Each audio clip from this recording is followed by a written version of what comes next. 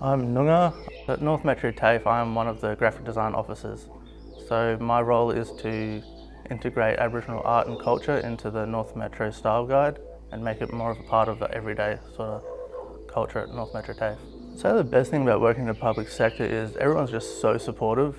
Everyone here I've worked with is super supportive and yeah, just super welcoming. So I very much recommend it. The best bit about um, doing art is I'm able to learn more about my culture. So for each campus, I'm able to learn about the land around it and incorporate that into the artworks and the stories.